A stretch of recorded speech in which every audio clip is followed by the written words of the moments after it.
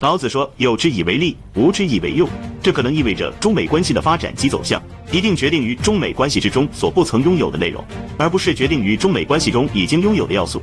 因为已经拥有的确定了利益的分割现状，而两国关系缺乏的部分却是决定了两国关系的变迁。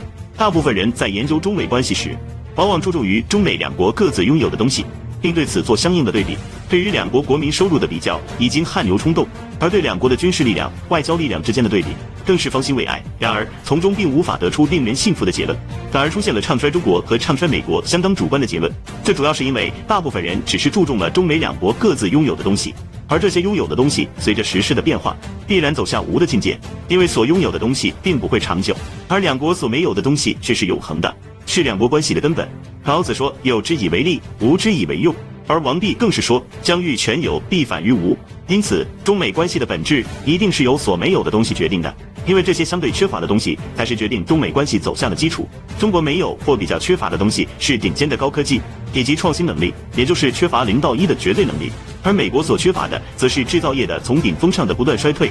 其经济的泡沫化繁荣是最大的威胁，因此中美之间的关系实际上已经被决定了。而中国从无到有，而美国从有到无，则是一个自然的过程。这一点已被老子的巨著阐释得非常清楚明了。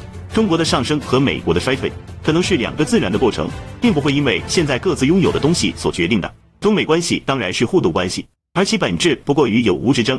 实际上趋势已经清楚，只不过是这个过程的长短，以及西方的智慧如何将这个过程变得长一些。所不同的是，美国对于中国的政策建立在有的基础上，这是所谓的实力或者自以为是的实力；相反，中国对于美国的政策则是建立在无这样的根本之上，从而决定了美国的表面的强势和实际的虚弱，以及中国的表面上的示好和实际的宽容。只有这样，才可能使无到有这样的一个过程加快。西方的政客并不会理解中国，这也是中西方之间所缺乏的东西。